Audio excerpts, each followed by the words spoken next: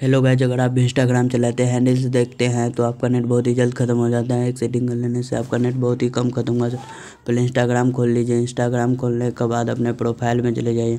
Profile में जाने के बाद थ्री डॉट पर क्लिक कीजिए। थ्री डॉट पर क्लिक करने के बाद सेटिंग में जाइए। सेटिंग में जाने के बाद अकाउंट में जाइए। अकाउंट में जाने के बाद कॉलर डाटा यूज़ लिखा मिलेगा सबसे नीचे। उस पर चले जाइए। उस पर जाने के बाद यहाँ डाटा से बड़ा ऑफ़ रहेगा। यहाँ पर ऑन कर लीजिएगा। इससे आपका नेट बहुत ही कम खत्म होगा। अगर वीडियो पसंद आए तो लाइक करें। चैनल पर नए हैं तो सब्सक्राइब करें।